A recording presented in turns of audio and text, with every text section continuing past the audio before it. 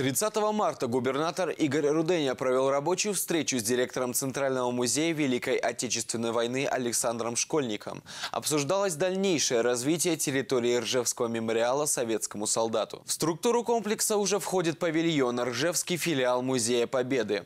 Также на окрестной территории будет построен корпус для проведения общественных и просветительских мероприятий гражданско-патриотической направленности.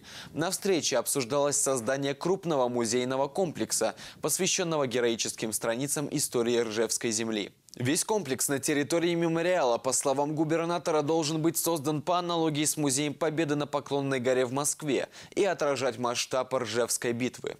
Планируется, что здесь построят музеи, трехмерную панораму, культурные и информационные центры и другие объекты.